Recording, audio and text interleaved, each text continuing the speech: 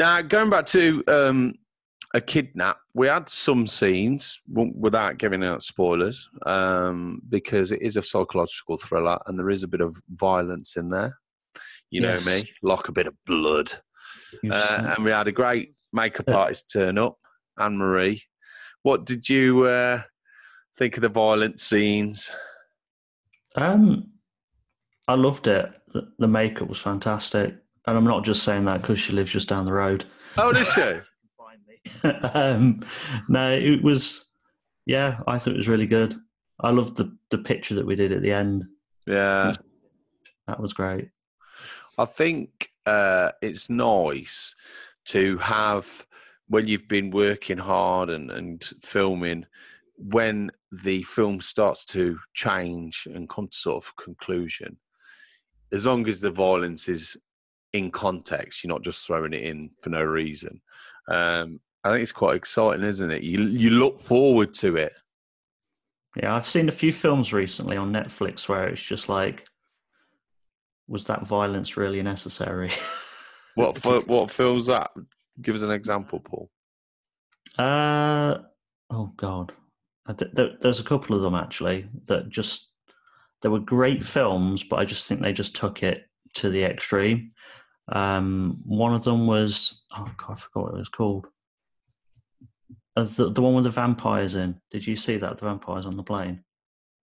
Oh, is this? Uh, I haven't seen it yet. No, is it any good?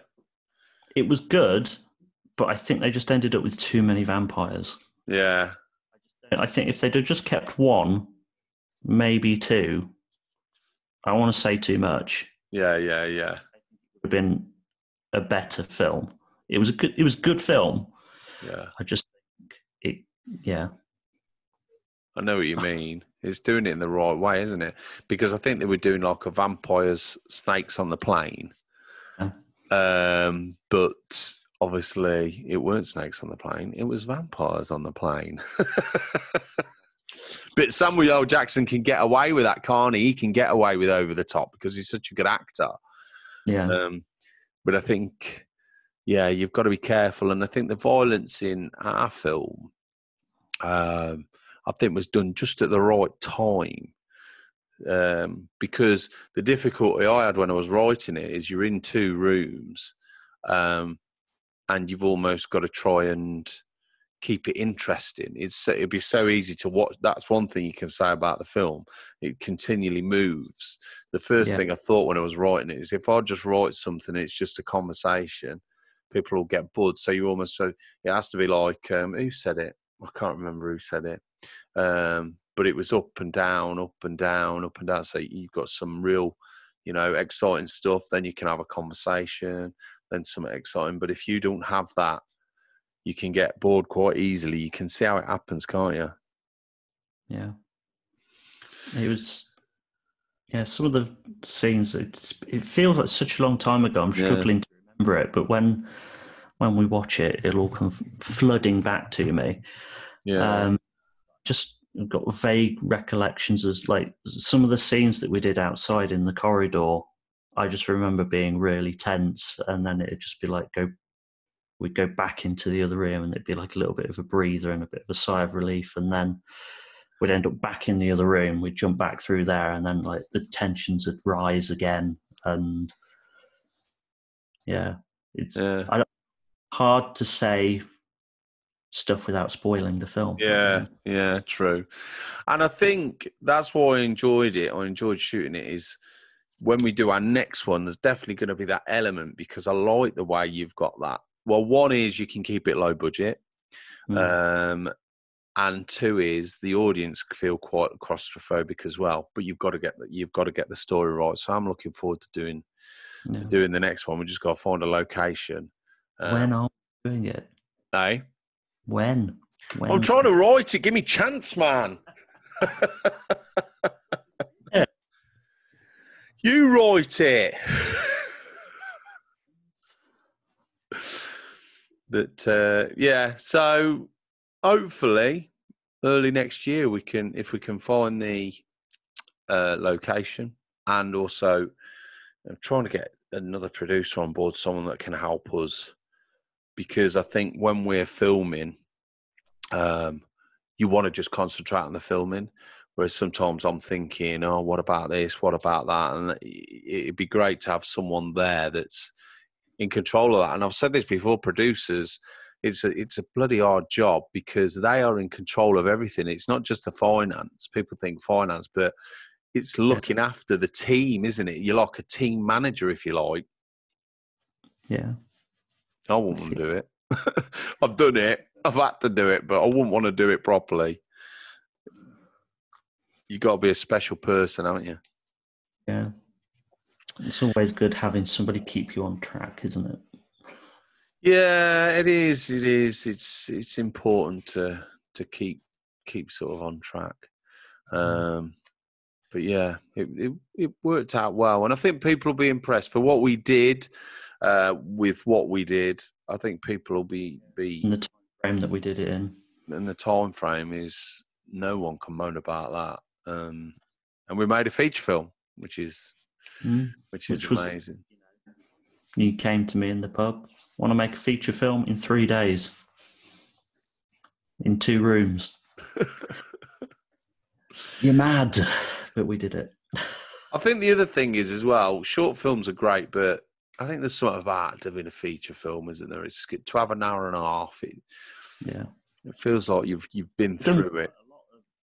Short films over the years, haven't we? We must have done about like five of them. Mm. Yeah, but when you do a feature, and you know, you know, currently it's out for distribution. There's a lot going on with that because it's a bit of a minefield.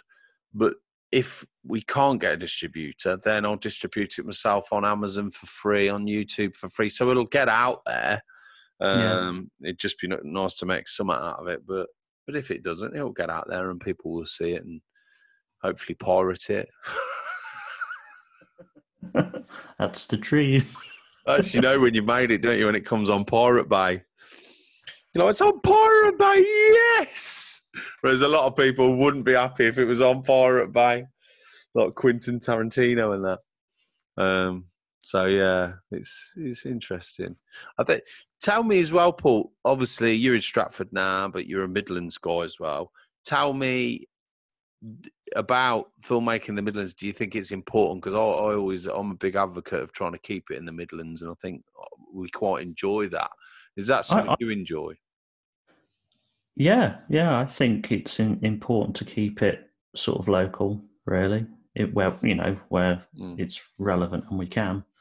Um, and I think you know, we, hopefully, once all this is sort of sorted itself out, that's going on in the world, we can do a lot more of it between the two of us, and you know, try and champion it a little bit more. It's because it's been a bit difficult over the past sort of year or so, hasn't it?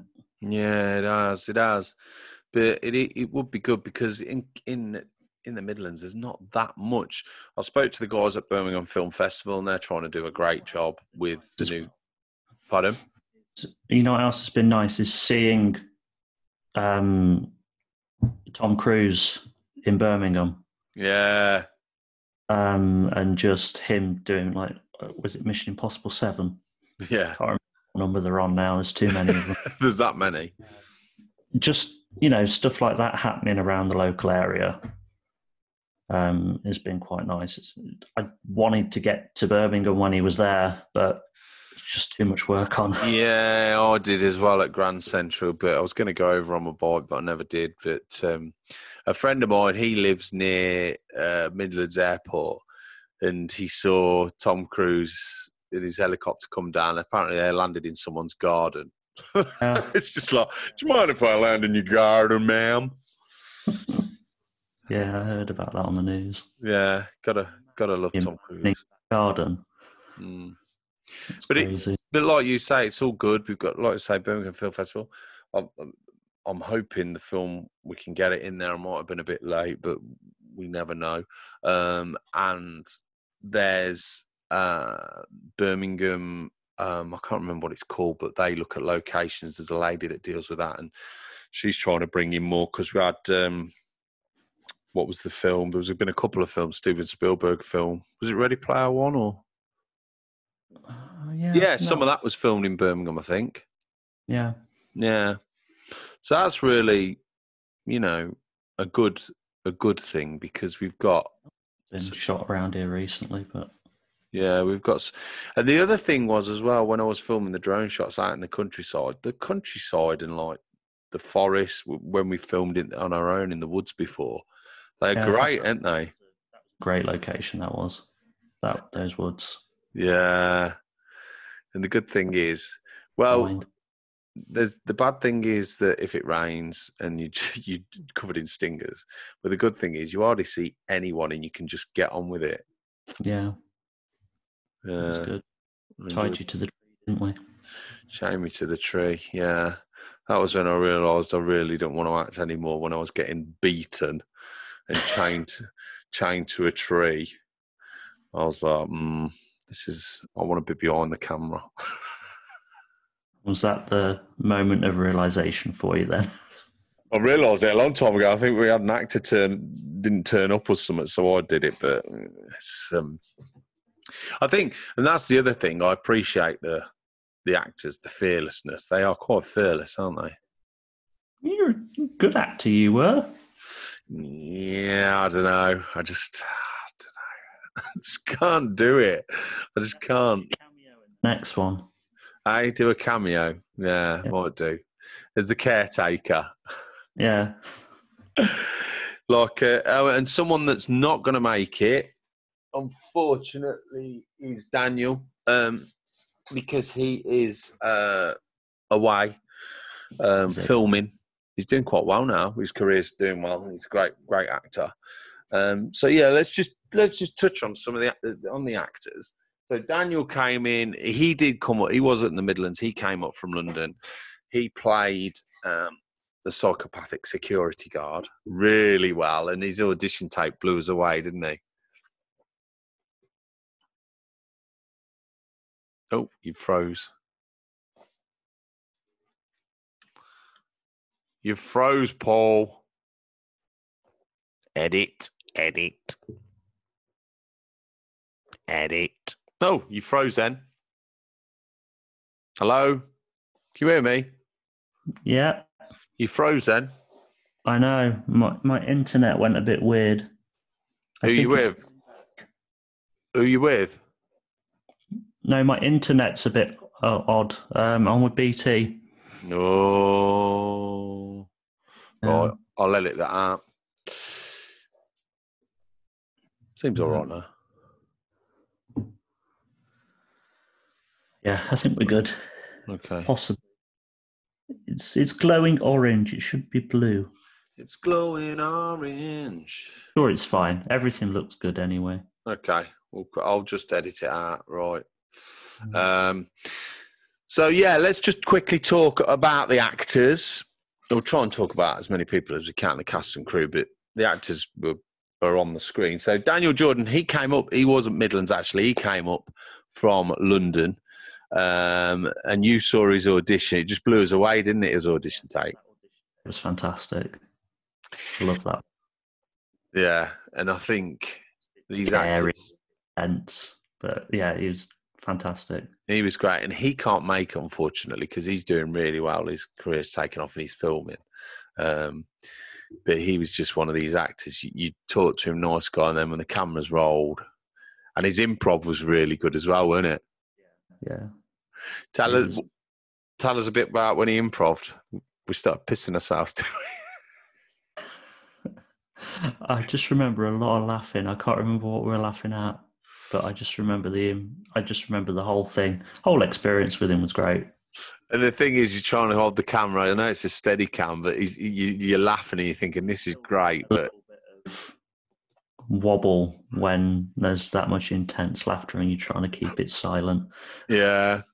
Um, then we got Jacob, Jacob Cottrell. He played uh, Lou. He was great. Uh, young lad, just starting out. I don't know if he wants to carry on acting, but he should do. He, he, was great because he had to act injured all through the film, didn't he? What did you think of him? Yeah, he was good. We had we, we all had a good laugh with all of them. They were all Yeah. fantastic. I think that's the key as well. When you're making something like that, you've got to you've got to have a laugh. we Uh, only spent three days together. Well, I only spent three days with them. Really, Yeah. you have spent a few more getting Yeah. to know them. the first time I met everybody really was. We had some rehearsals. We had a couple of rehearsals, didn't we? Yeah, um, and you know, we all we all gelled as a group, didn't we? Quite well, I think. Yeah. And it, You've got to know, get on. You've got to we get. we all got on. We all had a laugh, and we all had a good time. I think whilst we were doing it, and Yeah, that's all that matters at the end of the day, isn't it? If when we're doing stuff like that. definitely. Uh, El- Eloise, Eloise, you. She's doing well as well now. Young actress. She was great as well. The youngest one of the team, weren't she? Yeah, she was good as well. And T. Yeah. um, Then we got T, T Birmingham lad T. Love T. He's uh, I don't know if Eloise is coming to the Premier. Jacob is. T is. Um, but T was a di- he had a really difficult uh, role because he in it the kidnappers there's two women and there's him Tuco and he sort of had to lead the women where they were manipulating him. Um, so and he was perfect when we auditioned him. yeah. He was he, he was he was great. And the other thing is as well with all these actors, actors and actresses, we could just give them direction. and just go for it, you Yeah. know. Um, and we just let them get on with it, and it worked, didn't it? Thank God. And then we've got Imogen, oh Blondie, psychopath. That was an interesting one, wasn't it? Yeah. Some of the scenes were quite intense. for her, yeah, she really had to, really had to go there. So Imogen was great. The great story she plays Blondie. The great story about Imogen was when she came in for the audition with me and Abby. Um, she auditioned for Angel, and she left. And I said to Abby, "She seems like she's got a bit of attitude." So I think you know, and I said she could be a great, great Blondie. Now, not bigging me up for casting brilliantly, but she was great, wasn't she? She was fantastic, yeah. That um there was a few scenes that, you know, ended up being pretty tense, but she pulled them off perfectly. Yeah, and, and I feel when I they've read the script, they like the script, they like the story, which is great. But I do some of the scenes I really put them through, and I feel really bad. I'm like, oh, I'm sorry, I'm making you do this, but it but it works. And then we've got brilliant Molly as well. Yeah. Um, bless her, she came in as as Angel, and she was she was great as well. Bless her. Um, I won't say too much about what happens to her in the film, but I'm so sorry. no, I'm joking. What? How it happened now. Oh, do you remember? Right. Okay. yeah. So yeah, all a very talented, um, a talented bunch, and I think that's going to be the big thing. Is when we do our next film, is is trying to cast and and get another great talented, um talented bunch because it does make a big difference, doesn't it? A lot for you, cameraman. How how does it make a difference when you've got good actors, Paul? Just makes it easier. You know, to just if you've got somebody that knows what they're doing on the other side of the camera, it just makes your job behind the camera a hundred times easier. You know, Yeah. whether if filming car sales executives like I used to, some of them knew what they were doing. Some of them used to. It's like most people. You stick